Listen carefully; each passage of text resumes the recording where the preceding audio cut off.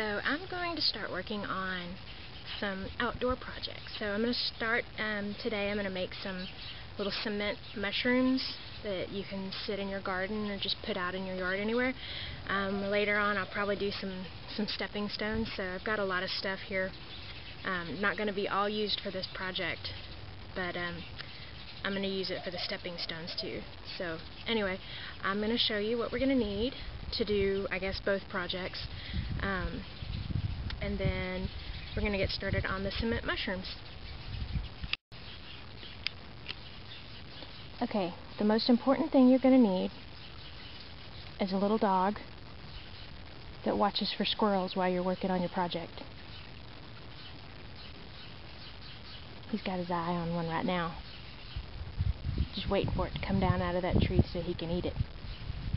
So, get you one of those. Okay, so the first thing you're going to need is a bag of cement, and this is high strength cement. It's an 80 pound bag. I think it was like $3.50. And a tub to mix it in. Um, I think that was like a $5 mixing tub. And then now I've also got a whole bunch of these little uh, glass stones. I got them in the floral section at the craft store. They're a lot cheaper if you get them there than if you get them over where um, they sell like the mosaic tiles for stepping stones. So like a bag like this big right here was, uh, I don't think it says, it was like $3.50 versus if you got them the ones that were marked for uh, mosaic tiles and stuff like that would probably be like $10 worth of glass stones there. Um, and I also have some river stones here, some black ones and some white ones. I don't know yet. I just grabbed whatever struck my fancy. Um, I also got a set of letters that you can use to uh, write words into it. Um, I've got some broken uh, glass. This is for um, oh, stained glass work, so I just took it and broke it up with a hammer, or stepped on it actually. I just laid this on the ground and walked on it to break it up. But um, make sure you're wearing shoes when you do that. um, I also have a box of stepping stone mix that I bought at the craft store. I think the last time I used this, I actually just used that for the grout. Um, yeah, I think that's what I used it for. And then I also have a ceramic tile adhesive and what I used this for was to stick the little glass beads to the cement and then I used the cement, uh, the stepping stone mix is grout. So um, that's all you need to make the cement parts of the mushroom and decorate it. Um, we're also going to use some nails. I got some of these galvanized nails that I'm going to just stick in the bottom of the base so that you can push them into the ground so your mushroom doesn't tip over. And I got some nuts and some bolts, and these are stainless steel so that they don't rust. The nails are galvanized. And um, I'm going to be sticking these into the, the mold um, so that you can screw the parts together. I bought a couple of bowls here that I like the shape of. They kind of have a mushroomy shape to them. It's okay if it's flat on the bottom because we'll build that up with the grout and mortar. Um, I got these for $1 at Target in their uh, dollar section. Um, I have a couple of containers. These these are um, Lysol wipes containers that I'm going to cut off the rim here so that um, I can get the cement out when it's dried. And so you'll need some scissors, a Sharpie marker,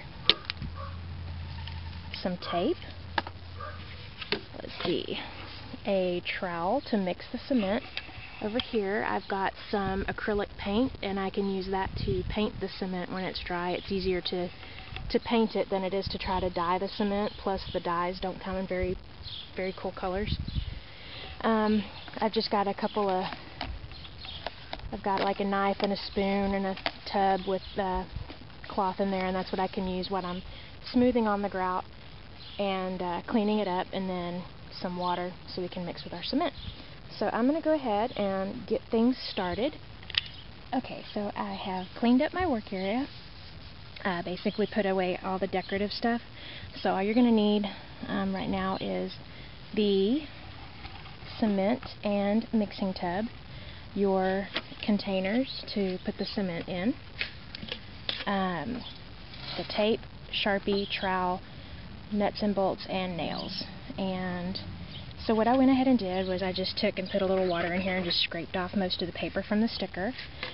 And then I cut the um, top of the tub off so that there wasn't a an indentation that would lock the cement in there. Um, that doesn't have to be perfect because you're not going to fill it all the way up to the top. So, um, then what you're going to do is you're going to take uh, one of your nuts and take a piece of tape, a little piece like this, and stick it to the nut. And so what we're doing here is we're just creating a seal on it so that when we put this in the bottom of our, this is going to be the, I guess, the trunk of the mushroom. So that's going to be that way when it's done, and then this will sit on top of it. Um, and that'll be our mushroom. So this is going to sit down inside of there. We're going to tape it in. And then I'm going to take one of our bolts and just screw it in until it's flush with the back of the nut. Mark it with our Sharpie.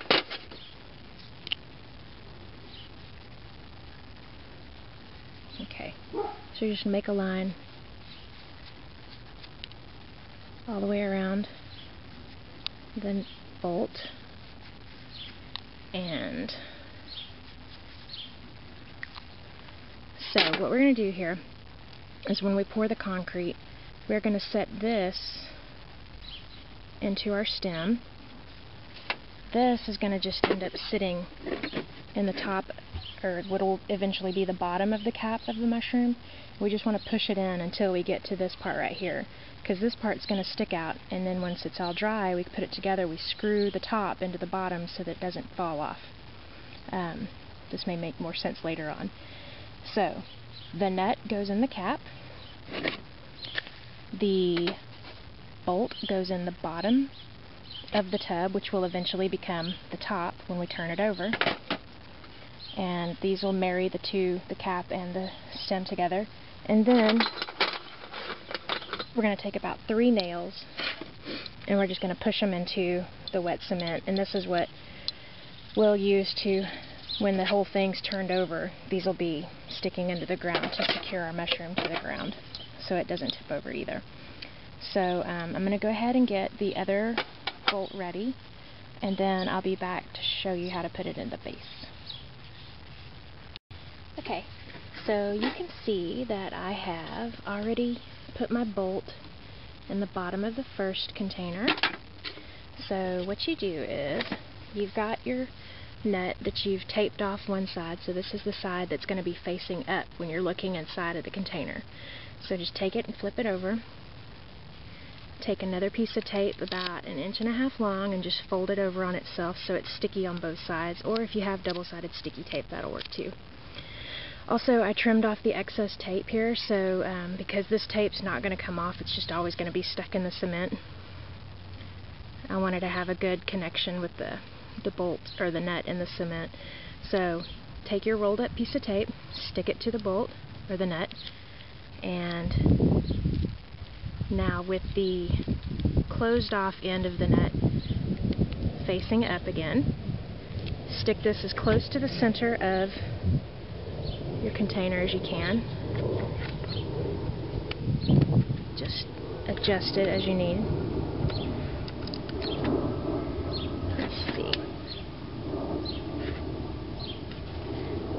Okay, so that's in the center-ish. And now I'm going to go ahead and start mixing up the cement, and then we're going to be ready to pour. Okay, so what I've done is just added um, however much cement mix that I thought that I would need to fill up my containers. Uh, you definitely don't want to do too much. Too little's fine because you can always mix up some more. Uh, you want to make sure that you do this outside and not on a windy day or you're going to get this stuff all over you and it's really not good to be breathing it. So just carefully add some water to the center of your pile.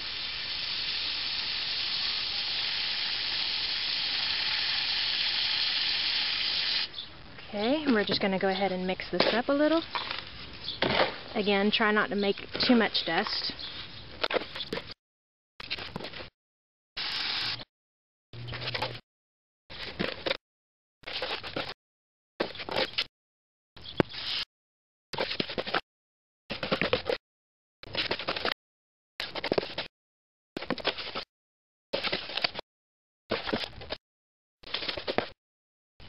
So now we got the cement mix um, to a nice slurry consistency.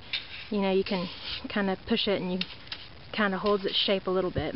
So I think, again, I don't know that much about cement, but I think that's pretty much like what you want. You want to be able to smooth it out if you want to do something like that. Um, so now we can go ahead and take this and put it into our containers. So I'm just going to move this out of the way a little bit and grab my first container. And for this first spoon or shovelful, I'm going to carefully put it in so it doesn't knock my bolt out of place. Tamp it down. Now we can kind of shovel it in there a little.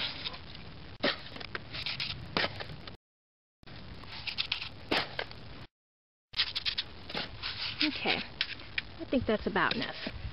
Alright, so I think that's about full enough, so we'll just take this and hit it a little bit.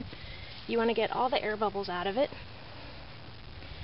So we'll just tap the sides and you can see the air bubbles rising.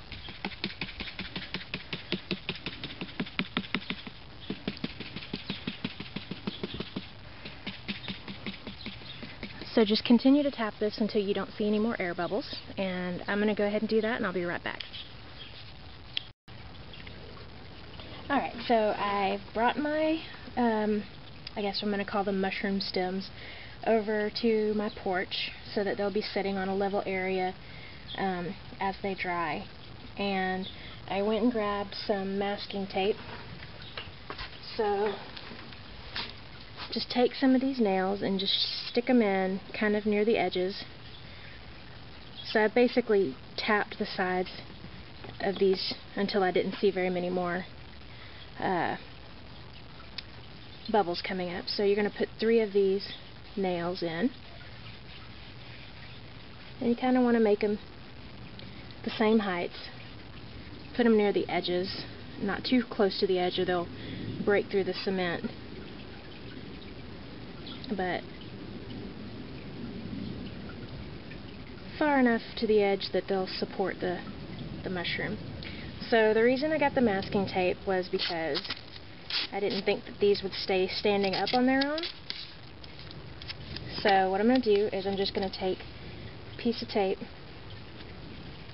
and just lightly stick it to the container because I don't want it to um, change the shape of my container.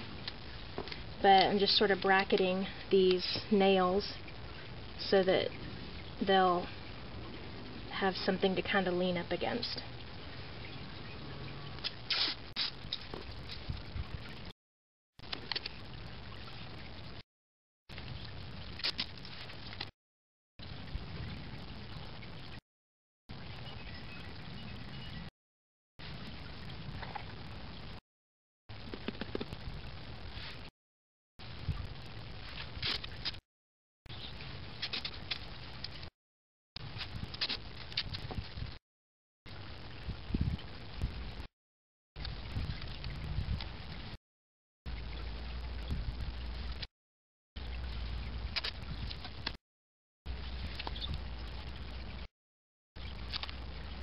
Okay, so all of those look like the nails are pretty level, pretty um, even with each other, and that they're all standing up fairly straight so that when you go to push this into the ground, you don't have nails pointing in odd directions. So I'm just going to leave these sitting here for a few days to let them dry and uh, to set up. And also when I get done with the the tops, the caps of the mushrooms, I'll put them over here as well. Um, they'll need to be covered with plastic so they don't dry out too fast or it'll cause them to be weak. So um, I'm going to go ahead and mix up some more cement for the caps and then I'll be back to show you those when I fill them up. Alright, so I've mixed up another batch of cement, um, what I think will fill up these two bowls. And um, again, I got my nice little slurry mix um, consistency. So I'm just going to go ahead and spoon this into the bowl.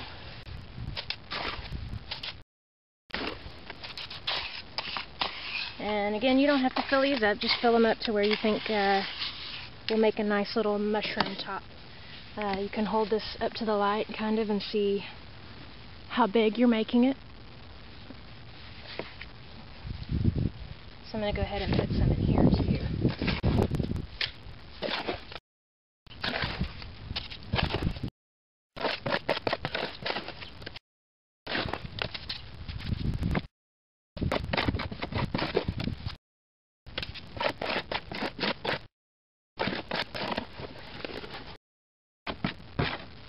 like making a cake.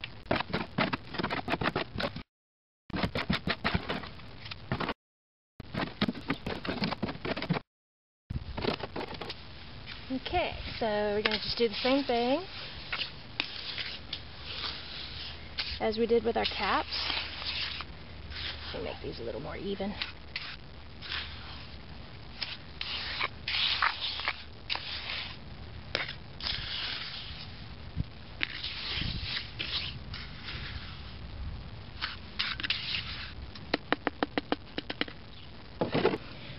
You want to make sure that you rinse out your containers and your mixing tools before everything dries. So I'm going to take these out into the yard and do that. Alright, so I brought my bowls over to my patio and my bolts. And I've got my masking tape over here too. So I'm going to go ahead and hit these until all the bubbles come out. And then uh, I'm going to tape in my, or set my bolts in. I don't think I'll have to tape those, but I might. Huh? No, he was over there by me a while ago, just watching for squirrels.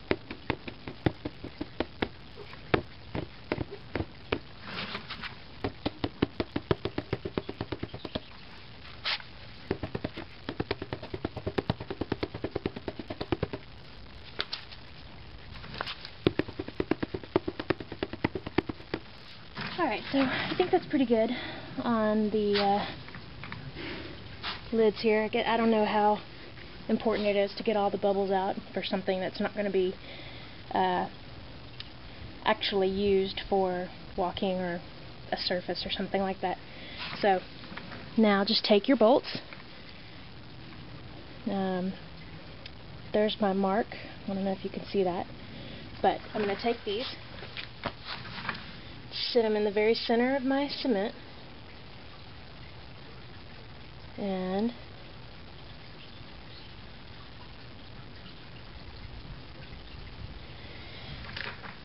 put them to where they are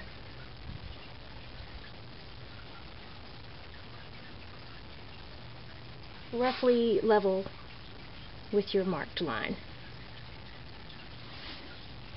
And if I'm very lucky, these won't sink in too much further.